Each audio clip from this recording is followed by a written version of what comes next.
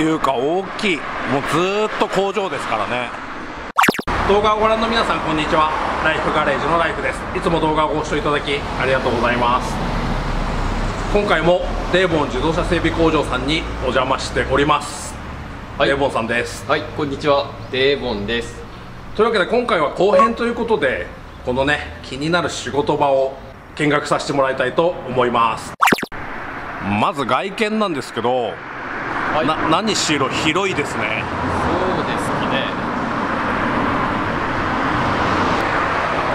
まずライフがありますけどはい、いきなりこれが気になってしまうという。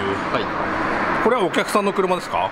い、うちの台車です。あ台車に GB を使っ使われてるわけですね。はい、そうです。いきなりねとりあえずこれが気になってしまうという。はテスターもあるんですね。い、あー一応あるんですけど、これ故障してます。あそうなんですね、やっぱり地域柄除雪機ははい必須ですね、そうですね。これも整備されます？はい、ご自分でやられます？メンテしてます。やっぱりタイヤはやっぱり増えますね出ますね。台車用と、あと結構断ってるんですけど、お客さんのやつ預ああやっぱりね地域柄そうですよね。この辺も雪はやっぱり結構降りますね。そうですね。去年ちょっと少なかったんですけど、まあ降るときはすごいですよ。なるほど。そしてまあタイヤがねこれだけあるということはやっぱりタイヤチェンジャーも当然必須ですよね。そうですねただうちのタイヤチェンジャーは最大16インチまでです。ああなるほど。はい。まあ、まあそれ以上はあんまりないんですけど、うん。最近特にね大きくなってきましたよね。そしてあそこにもリフトがあるんですね。早速一機。普段動画撮影されてるのはこの向こう側ですか？そうです。向こうの工場のリフトですねなのでやっぱりこっち側じゃそんなに動画に出てこない。そうですね。ただミニキャブのエンジンを下ろしたのはここのリフトです。ああなるほど。そうだイメージ的にねなんかこうどうしてもね動画で見てると狭く感じちゃったりとかね工場だとするんですけかもどしれないですね。すごい広い広くて立派な工場ですよ。このスイフトもサンバーも動画に出てきたやつですね。そうですねあサンバーこっちのは出てないですね。あ出てないやつですか、はい。あのちょっと中古車で販売するやつで今整備してるとこです。あこれから直してはい。販売すると、そうでやっぱりサンバー率が高いですね。すそうですね。結構いますねお客さん。まあ、整備工場に来てジャッキがいっぱいあるっていうのもどうかと思うんですけど、まあ、当たり前だよっていう話なんだけどやっぱり結構ありますねそうですね。3つですね。ガレージジャッキは。ドライブシャフトかな？んかいっぱい部品が積んでありますけどこれからじゃあそうです。これはやられるってことですね。ブーツが切れてたんであの中古のシャフトも取り寄せておいたんで。あれがシャフトですね。そうです。なるほど。ブーツを変えて交換します。こういった形でその車を直してはい。販売されたりも結構されるんですか？まあでもあんまりはないんですけどまあたまにオーダーいただいた時に。ああなるほど。はい。ドアも交換されるんですね。はいちょっとドアがぶつけたったんで。ああなるそういうところまでじゃあ直すってことですね。はい。ここがへこんでですね。これをはい。直すのにはい。ドアを交換すると、そういうことです。あこれだけでも十分な工場なんですけどさらにねはい。こっち側がありますからはい。ちょっとこっち側も入っていっても大丈夫ですか？はい大丈夫です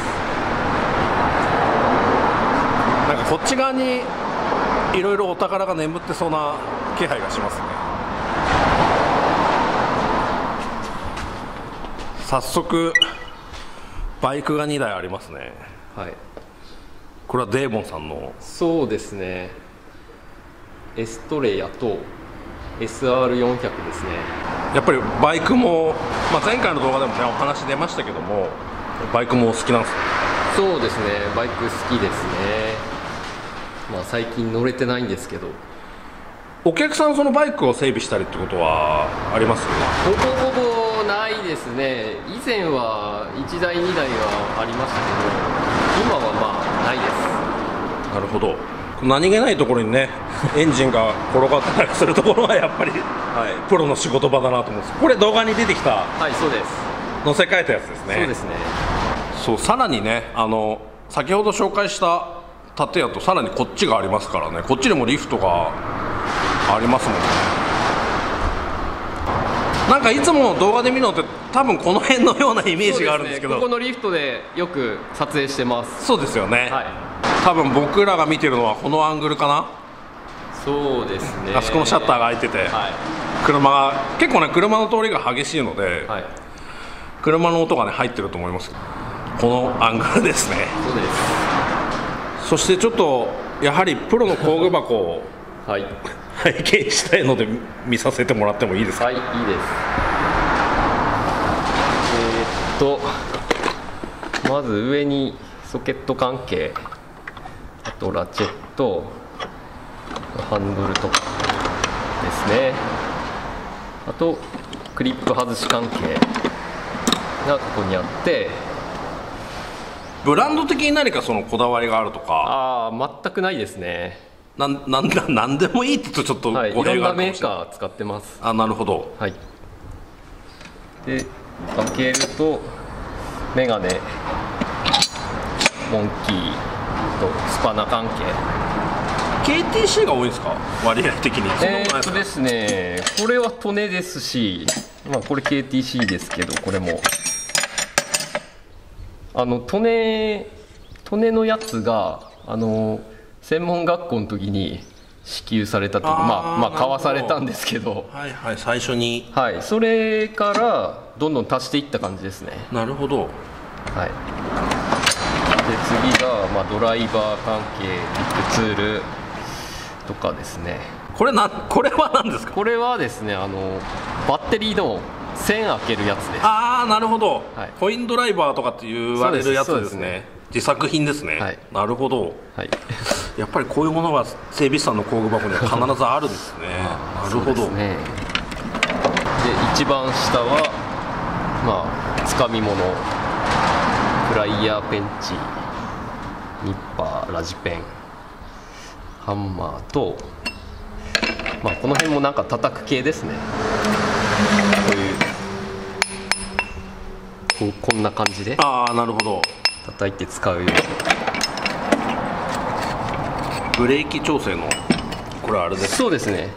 これ専門学校で作った実習で作ったやつで。あ実習でこういうの作るんですね。はい。へえでまあこれでも使ってないんですけど まあこっち使ってます。角度的に入る入らないがあるからこういうね。デザインになってるとかはいそういう感じですか、そうです。なるほどまああとこれが渋一の工具ですね。はいはい。渋い位置も重要ですね。はい。入らないとことかありますもんね。そうですよね。まあ当然ですけど、はい。やっぱりインパクトのソケットのコマもこれだけ必要ということですよね。そうですね。あの結構各これが19か。19差し込み12.7トラックなんかにも対応しなきゃいけないからってことですよね。トラック用は向こうにありますね。あまた別にあるんですか、はい。あそっかもうトラック用はこのぐらいのサイズになるってことですよね。すげえなこのエクステンション。これなんか画面で見ると伝わんないかもしれないけど僕の手こんなもんですからとてつもなくでかいですよこれ。え重いです。ー、このトルクレンチもはいトラックのホイールナットを締めるやつね。トラックのホイールナットってトルクってどんぐらいなんですか？えーっと500ニュートンとか？あそんなそそれぐらいなんですね。はすごい。ちなみにこれも大きさが伝わらないかもしれないけど僕の手がこんな感じでいと持すちますか？こんなもうこ こんなこんなサイズですからね重いです。これはなかなか僕も見たことないです、まあ、ちょっと順番が狂ってしまいました。がこっちのまたこっち側に戻ってきましたけどはい。オイルもはい。ありますね。このジェットエンジンみたいのは何ですか？あジェットヒーターですね。ここれは乾燥機。うん乾燥というか一応まあ暖房用なんですけどああのー冬とか下回り洗浄して、まあ、乾かしたりとか、ああなるほど。はそういい、ただ燃費が悪いんで。あそうなんです。あ、はい。強力な分。そうです。ジェットって書いてあるもん。ジェットヒーターか、はい。ジェットヒーター。えー、すごい。まあ酸素なんかもね当然整備工場さんですからね、そうですね。マフラー緩めたりするのに使ったりします。そうですよね、はい。この辺がなかなか素人には持てないところなんで 憧れというかあるんですけどねこれは何ですか？これはあのトラックのホイールベアリングのにグリス入れるやつです。ベアリングをはい。置いて？はい置いてでこう押すとあのニューッとああグリスが入れ替わるというか下から出てきたグリスが古いグリスを押して入れてくれるっていう、充填できるなるほど。ギアオイルデフオイルも何種類かやっぱりそうですね。あるっていうことですね、はいそれだけ逆に言えばいろいろな車が入ってくるともはい。言えるということですね。結構動画でそのなんかサビと戦ってる そのイメージがなんか知らないけどあるんですけど。そうですね。サビには結構悩まされてますね。やっぱりこの辺の車錆びるってことですね、はい。結構車検で下回り見た時まああ対策しておけばまあ長持ちするかなっていうあなるほど。感じでエレメントもちやっぱり径が大きいから小さいものが。そうですね。まあ軽は全部とまあ普通車少々みたいなあとその都度注文すれば部品屋さんすぐ持ってきてくまあれるんで、そうですね、はい。なるほど。あそしてプレスはまあ当然はい。ありますね。この一番奥にあるのはこれはタイヤごとタイヤつけた状態で車を上げる、そうです。4中リフトというやつですねオイル交換なんかでもこう乗り入れてすぐ上げれるんで。あセットが楽っていうことはいですかね、便利です。ああそしてあそこに高圧洗浄機があるんですが、はい。下回り洗浄はここで。そうです。あじゃあ室内でできるってことですね。そうですね。まあリフトで上げて洗ったりしています。室内でできるのはいいですね、はなるほど。結構高速カッターとかありますねいろんな。そうですね。鉄切ったり溶接したり。やっぱり加工したりっていうこともああトラックとかよく。マフラーとか。はい。そうマフラー直すためにこう中古のマフラー使えないやつもちょこちょこ置いてたりはするんでちょっあーと散らかっちゃってますど。逆にお宝がいっぱいあるっていうことですねこの辺は。そうですね。これはもしや自撮り棒ということはこれではいもしかして、はい。これで撮影していますいつも。なるほど。はいあの近いところで撮ってる絵が多い 多いんで、はい。結構撮影も大変そうですよね。そうですね。こうやってよく こうやってよくやってます。はいはいはいはい。僕もやります。まあ多分ねあのデーモンさんもこれから動画撮っていくと、はい。僕はできるようになったんですけど、はい。むしろこの画面を見てあ作業するっていうことができるようになってからこっちを見てそうそうですそうすです。僕もねいつの間にかビデオカメラを見ながら、はいビデオカメラの液晶を見ながらもうこっち直接見ないでこっちで撮影してるっていうだんだんそういうふうになってくるんで。さすがですね。そしてここにもノートパソコンが。はい。ここで編集とかをされてるってこと？編集はしてないです。まあこれはあの修理書あーあの整備振興会の修理書を見たりまああと作業中に YouTube 流したりしています。あ YouTube を流しながら、BGM 的に、はい。そうかそうか手順書とかねあの整備解説書か、はい。あのを見るには確かに手元にあったらはい。便利ですよね、確かにそうですね。そこら辺もやっぱりプロならではですね。やっぱりこの辺のボルト類は大事ですね。そうですね。ごちゃごちゃ増えちゃいます。こっち側にクレーンがあるってことですね、はいそうです。これでそうか釣ったりとかはい。できるっていうことですね。はい。これもあの素人のね作業のこう悩みどころですよね。これがないとできないやつですねこれね。オートマのはい。ATF のね、そうです。やっぱりね動画で見てるイメージより全然外も広いですよ。車結構止めれるんですね。台車は何台？えーと K が軽トラ2台。乗用が3台。あ結構あるんですね。えーですね。67台ぐらいですかね全部で。うんやっぱり軽トラの台車が地域柄軽トラの台車は必要はい。ってことですね、動画の印象と動画の印象と違ってって言ったらまあ失礼な言い方ですけど、あのまあどうしてもね動画だと一部しか映らないので大変広くて立派な工場でしたね。いやいや。汚い工場です。いやいや。もうプロの仕事場を見せていただいたんでありがとうございます。ありがとうございます。というわけで前回今回とですねデーボン自動車整備工場さんにお邪魔してお話をお伺いしたり工場の方をね見させていただきました。本当にデーボンさんありがとうございました今回は。ざいました。